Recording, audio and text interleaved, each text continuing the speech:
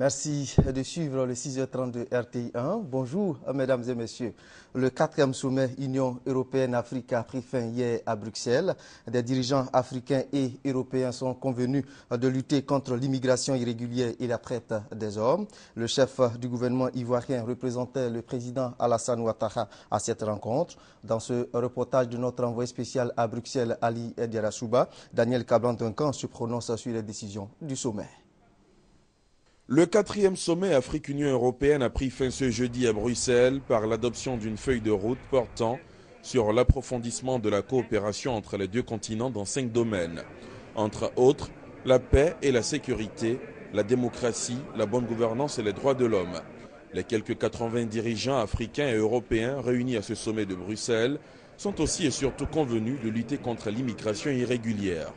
Représentant le président Alassane Ouattara à ce quatrième sommet, le chef du gouvernement ivoirien, Daniel Cablan-Dincan, estime que cette rencontre est prometteuse et pour l'Afrique et pour la Côte d'Ivoire. Les rapports entre l'Union européenne et l'Afrique vont s'intensifier. Mais sur une base peut-être plus nouvelle qu'elles étaient par le passé, même si déjà il y a eu donc euh, des appuis importants, etc. Et je pense que compte tenu des difficultés financières de l'Europe, on aura davantage le secteur privé européen qui va jouer un rôle plus important que par le passé. Voilà ce que je note. Et je pense qu'ils sont aussi conscients qu'il y a une concurrence plus forte en Afrique, notamment avec euh, ceux venant d'Asie et ceux venant d'Amérique latine. Donc ils sont préparés maintenant psychologiquement à aller de l'avant. Après ce sommet, le Premier ministre ivoirien Daniel Cablan-Duncan a échangé avec le ministre belge des Finances, Ken Gintz, au menu, la coopération entre les deux pays. Nous avons indiqué donc au ministre que nous souhaiterons donc voir euh, des entreprises belges euh, être dans le secteur des infrastructures économiques, port, aéroport, ils ont des expertises. Euh, il y a une coopération entre le port d'Anvers et le port de San Pedro qui existe déjà mais il peut y avoir une diversification dans ce domaine. Comment des Finances belge peut contribuer à ce que des grandes entreprises belges avec un savoir-faire particulier, par exemple pour l'infrastructure, euh, puissent participer aux appels d'offres euh, qui euh, sont lancés pour l'instant dans votre pays, parce que nous croyons avoir un certain savoir-faire à cet égard. D'autre part, une possibilité d'échange de formation. nous avons certaines connaissances euh, au niveau de l'informatique, par exemple, euh, pour automatiser euh, les ministères des Finances. nous avons certaines connaissances à d'autres niveaux aussi, donc nous devons à tout prix reprendre les contacts au niveau de l'aide au développement. Après ce séjour bruxellois, la délégation ivoirienne se rendra en France ce vendredi, le but étant le même, présenter les opportunités d'investissement et d'affaires en terre ivoirienne à Paris, Daniel Cablan-Duncan, accompagné de son équipe, part à la rencontre des membres du Conseil français des investisseurs en Afrique. Le séjour de Paris va durer cinq jours. En marge de ce sommet, une annonce surprise. Le contingent de soldats tchadiens va se retirer de la mission de maintien de la paix de l'Union africaine en Centrafrique, la MISCA. N'Djamena dénonce les accusations dont elle fait l'objet sur son impartialité dans le conflit. Le Tchad est régulièrement accusé de prendre parti en faveur des rebelles de la Seleka, composés essentiellement de musulmans. Le retrait des 850 soldats tchadiens présents en Centrafrique représenterait une perte non négligeable pour la MISCA qui compte aujourd'hui 6 000 euh, soldats épaulés et des 2 000 euh, militaires français de la force Sangaris. Et c'est dans ce contexte que l'Union européenne a confirmé hier l'envoi de 800 soldats en Centrafrique pour aider à la sécurisation du euh, pays. Nous allons retourner à Bruxelles où il s'est tenu une conférence pour définir les termes d'une collaboration entre l'Union européenne à travers son comité des régions et le Conseil des collectivités territoriales de l'UMOA. Objectif visé par l'Union européenne, contribuer au développement des collectivités locales de l'espace UMOA. Le reportage de Kwasi Mamadou. Faire des frontières de l'espace UMOA, Union économique et monétaire ouest-africaine, des outils de développement et ce à travers des projets communautaires au profit des populations. C'est l'objectif du Conseil des collectivités territoriales CCT à travers sa politique de coopération transfrontalière. L'initiative est soutenue par le Comité des régions de l'Union européenne qui a une grande expérience dans le domaine. À la conférence de Bruxelles, ils ont pris l'engagement de soutenir le CCT pour la réussite de ce projet. Nous continuerons bien entendu à soutenir la coopération décentralisée sur la base de partenariats institutionnels équitables et de long terme. C'est fort de cette conviction que l'Union européenne se tient résolument aux côtés de l'UMOA et du CCT. La coopération transfrontalière, comme levier de développement et de paix, est le thème de cette seconde phase de discussion avec l'Union européenne. Ainsi, les frontières non seulement doivent être acceptées et dépassées, mais bien plus. Elles doivent être euh, productives, inclusives et bénéfiques pour les zones qui les composent. La force de développement que porte cette coopération, notamment celle des frontières, qui bien plus qu'une problématique se présente aujourd'hui comme une opportunité et une nécessité à promouvoir, à encadrer et à développer. Le ministre béninois de l'Intérieur, François Ouessou, représentant le chef d'État béninois, président de la conférence des chefs d'État de l'UEMOA, salue cette nouvelle coopération entre les collectivités territoriales de l'espace UEMOA et celle de l'Union européenne. Il a réaffirmé la volonté des chefs d'État à faire de la décentralisation une réalité sur le terrain afin d'améliorer le cadre de vie des populations de cet espace communautaire.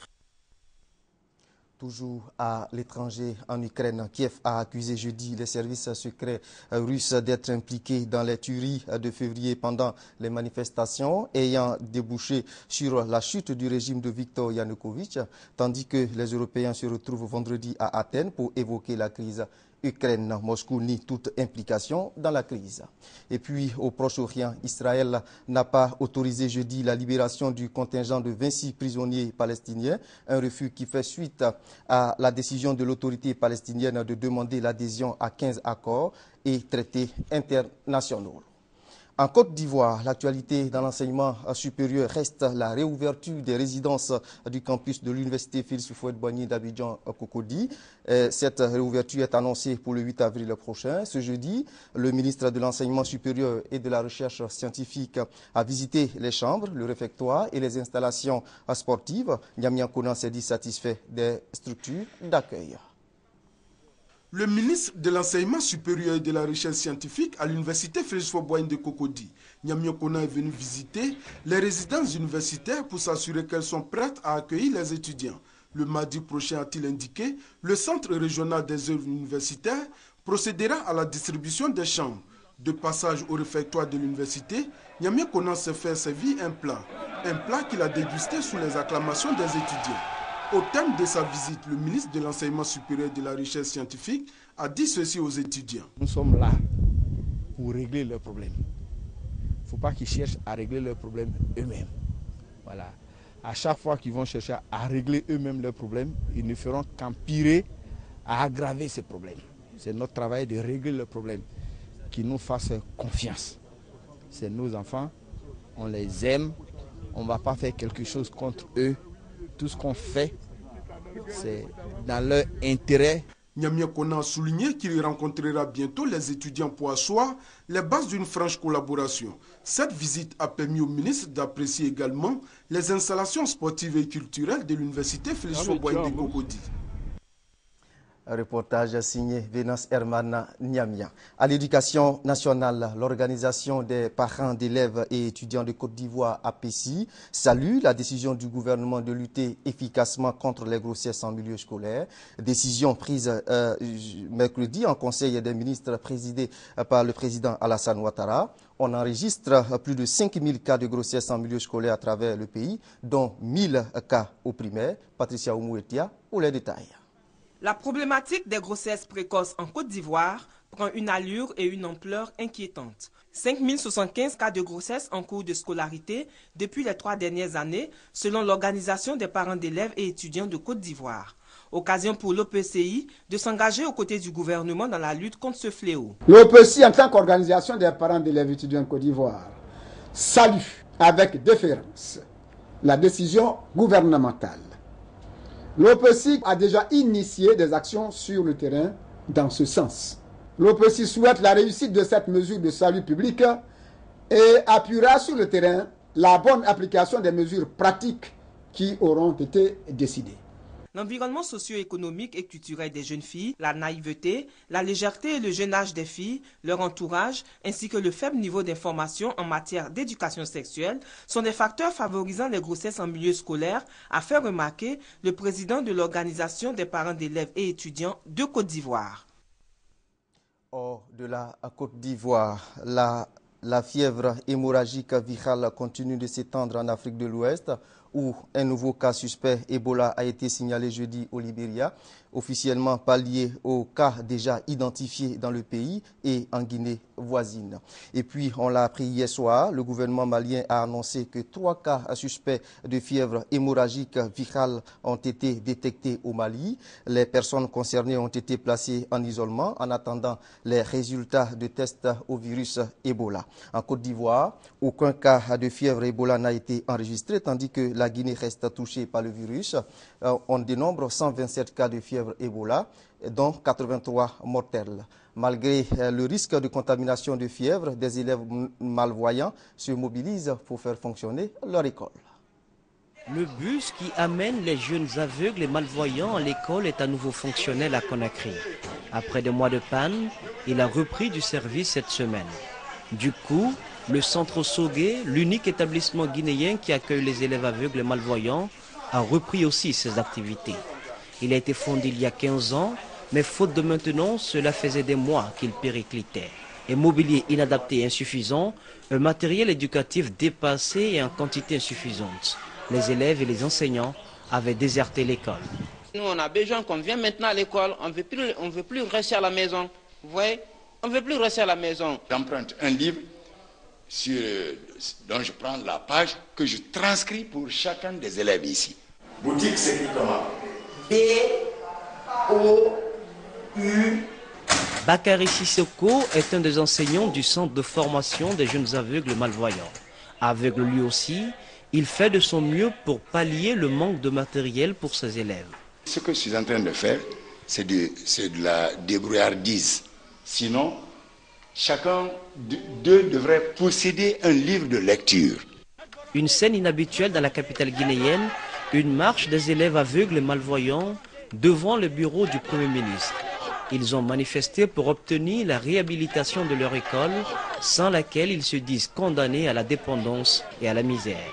Sans une éducation minimale, les jeunes aveugles et malvoyants affirment avoir comme unique perspective professionnelle la mendicité.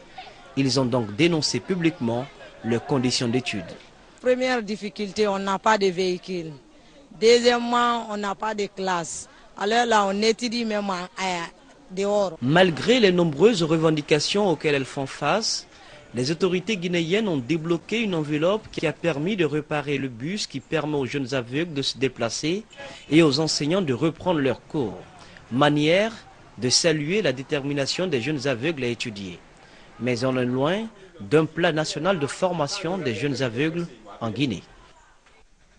À présent, quelques informations en bref et en images à travers le monde. Nous allons parler de grève en Allemagne, de gouvernement en France et de fusillade aux États-Unis. La base militaire de Fort Hood au Texas, la plus grande des États-Unis, est restée bouclée pendant plusieurs heures mercredi. Un soldat a tué trois militaires avant de se suicider. 16 personnes ont aussi été blessées. Les cas les plus graves ont été transférés en urgence. L'armée indique que le soldat tueur avait servi en Irak quelques mois et souffrait de problèmes psychologiques. Le président américain Barack Obama s'est dit dévasté qu'une fusillade ait encore pu se produire. C'est le troisième incident du genre en six mois sur une base militaire américaine. Le nouveau gouvernement français est prêt. Autour du Premier ministre Manuel Valls, une équipe resserrée de 16 ministres a été annoncée mercredi matin sur le perron de l'Élysée. Huit femmes, hommes. Ségolène Royal fait son retour au gouvernement en tant que ministre de l'écologie, du développement durable et de l'énergie. Arnaud Montebourg est nommé à l'économie à la place de Pierre Moscovici. Michel Sapin devient ministre des Finances. Laurent Fabius, lui, reste ministre des Affaires étrangères.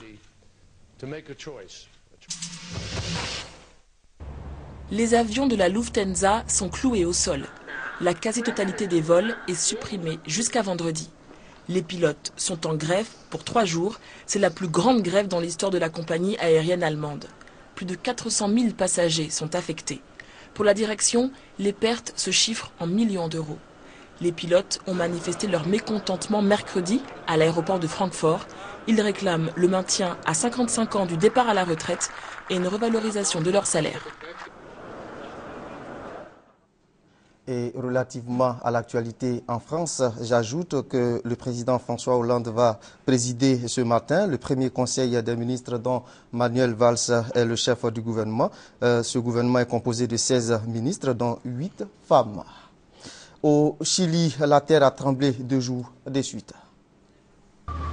Sirène, message d'alerte, blessés soignés en pleine rue, des centaines de personnes sur la route et des sacs faits à la va-vite. Les mêmes scènes se répètent dans le nord du Chili. 24 heures après un premier séisme de magnitude 8,2, le pays a encore tremblé dans la nuit. Les Chiliens sont à bout. Entre le tremblement d'hier et celui d'aujourd'hui, nous sommes épuisés.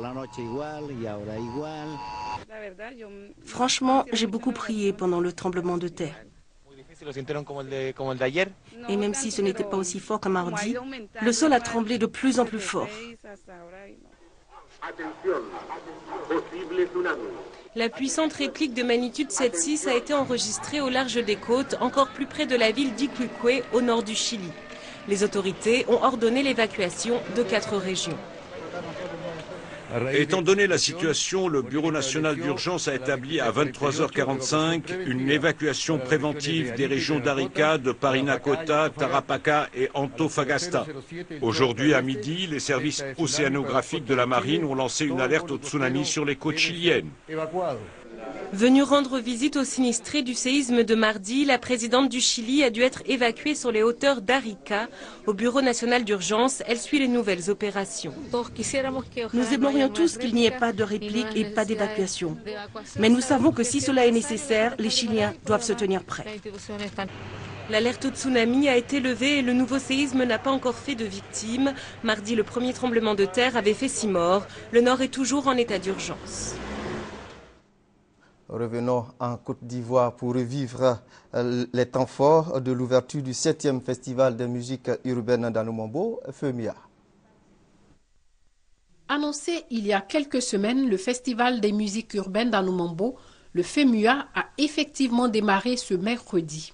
Cet événement, initié par le groupe Magic System, a enregistré la présence des autorités municipales venues soutenir Asalfo et son groupe. Pour les leaders du groupe Hassalfo, il s'agit certes d'apporter de la gaieté à la population d'Anoumambo, le village qu'il a vu grandir et forger son talent d'artiste, mais surtout de poser des actions sociales dont la plus importante est la remise des clés d'une école maternelle au dit village. Une école construite avec l'appui financier d'institutions internationales. Nous avons eu la chance avec euh, euh, notre partenaire La Rentrée de Cœur euh, de, pouvoir mettre euh, en place une école maternelle que nous allons offrir au village euh, ce vendredi. Et puis côté santé, nous avons aussi un autre partenaire qui est l'UNICEF qui a accepté de nous accompagner avec des dons de médicaments aux populations. L'école sera offerte au village d'Anoumambo et les médicaments seront offerts à la commune de Yopougon. Une émission de Radio France Internationale, la RFI, animée par Claudicia, a entre autres meublé cette première soirée du FEMUA. Le Festival des musiques urbaines d'Anoumambo, c'est aussi des prestations d'artistes de renommée internationale. Le FEMUA va prendre fin le dimanche 6 avril prochain. Ce journal est terminé. Merci de l'avoir suivi et bonjour chez vous.